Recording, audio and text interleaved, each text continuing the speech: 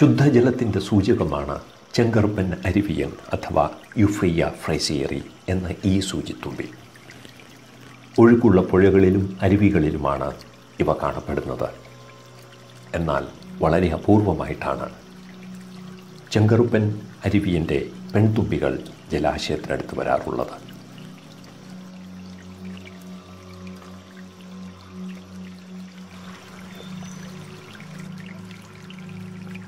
പശ്ചിമഘട്ടത്തിലെ ഒരു സ്ഥാനീയ തുമ്പിയായ ചെങ്കറുപ്പൻ അരുവിയന്റെ ചിറകിലെ കറുത്ത പാട് മറ്റ് അരുവിയന്മാരെ അപേക്ഷിച്ച് ചെറുതാണ്.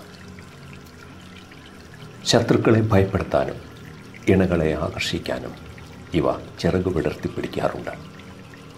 പശ്ചിമഘട്ടത്തിൽ കന്യാകുമാരി മുതൽ ഗോവ വരെയുള്ള പ്രദേശങ്ങളിൽ ഇവയെ കാണപ്പെടുന്നു.